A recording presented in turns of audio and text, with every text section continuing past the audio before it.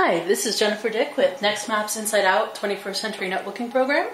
Uh, today I'm going to show you how to integrate uh, microcontrollers into your circuits and I'm also going to demonstrate a little bit of soldering uh, on the copper tape for a more robust connection. So what I have here is an ATtiny 85 that I've already programmed with two different functions. So an ATtiny 85 is a little microcontroller from Atmel, and you can see that it's got eight different pins. And some of these pins you can program to do different things. So we're going to use two pins. This is pin 0 and pin 1. Uh, they both have different functions that will change how electricity goes through, and it's going to give us a little blinking effect with a light. Um, power goes in here, and power exits the microcontroller through this pin. And you can look out something called a pinout diagram. You can find them online really easily. That will show you what the different pins can do. So you can see I've already laid down my copper tape, my electrical traces here. And to get them positioned correctly, what I did is, first after I bent out the legs of the microcontroller so it can lay as flat as possible, I then traced, I just took a pencil and went around the pins that I knew I'd have to connect on the paper, so that way I knew where to put my uh, copper tape.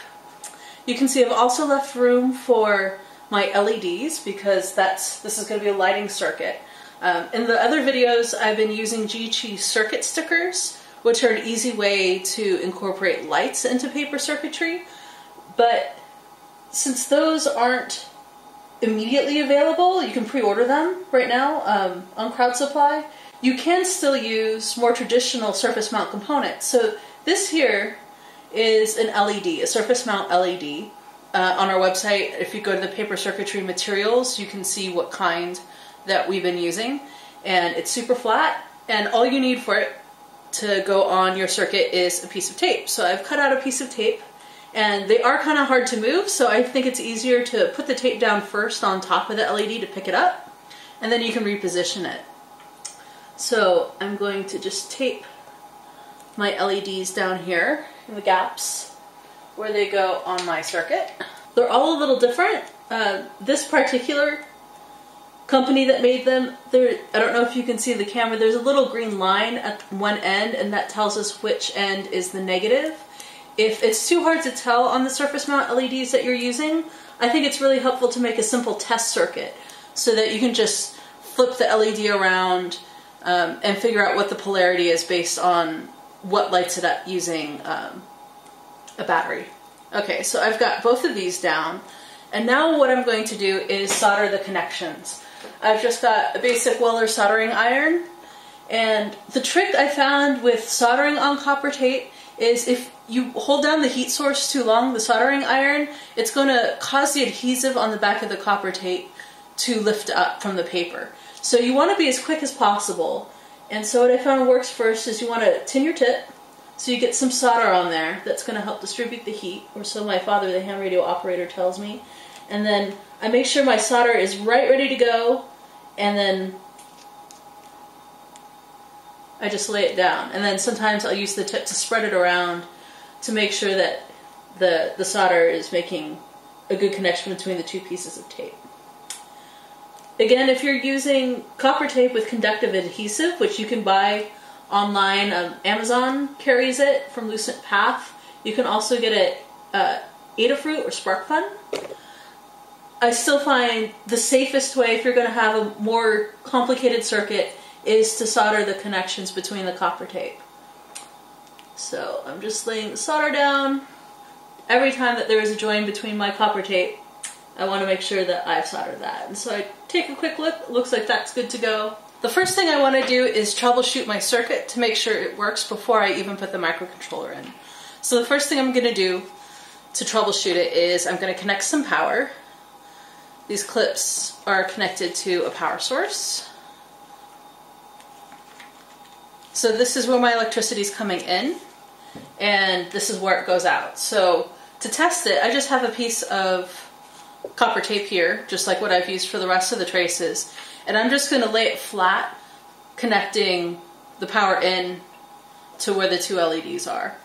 And so when I press down, that completes the circuit and it shows me that the connections are good. But I also see as I poke, oh, this one looks like it's it's not seated quite so well. So I'm going to press down more and then we see, okay, the light's still staying on when I move it around, so that means that's a much better connection.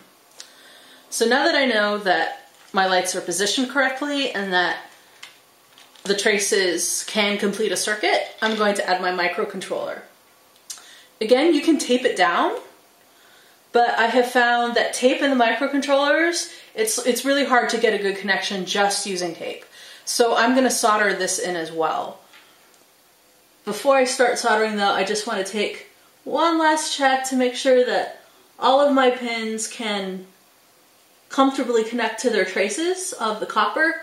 Uh, something else to remember when you're putting down your microcontrollers, you need to make sure that it's facing the right way. It's easy to accidentally put it in upside down. So you want to make sure that you locate the little dot in your microcontroller because that will help you orient it correctly. Um, you'll also notice that I've bent some of these pins down and up, again to make it easier to position them on the traces without touching because if they touch, of course, it's gonna, it's gonna short. I'm not saying this is necessarily the best way, but how I found it easiest to solder the microcontrollers down on paper is first I'm just going to place solder on the ends here before I put down the microcontroller because I want to make sure there's a little base um, already there for the solder to pick up. So I'm just putting little, little tiny pools of solder on the copper tape and it's to cool down and harden up really quickly and that's fine.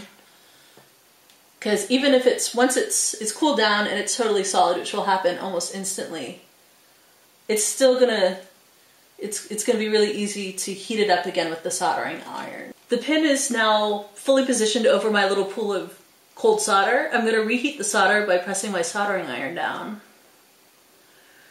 And that'll melt it again and then I just sort of move it over the pin and I'm gonna do that with the rest of these and of course you want to be really careful because the soldering iron is super hot. So that that looks like that's a pretty good first first try. And now the moment of truth. Hook up power in, power out, and cross your fingers. And there we have it. You can see that my circuit is working. These are blinking at different rates. Um, that was something that I programmed in Arduino using SparkFun's uh, tiny programmer. It's a nifty little little stick that you can use. And we have some tutorials and information online to help you through that process. I'm not a coder and I figured it out in an afternoon with help from our friend Natalie Freed, so if I can do it, you can do it. And you can see now my little picture has glowing flashlights. They're blinking. I think those kids need to change the batteries before they go through the scary door. Thanks so much for joining us and stay tuned for more tutorials and demonstrations from NEXMAP.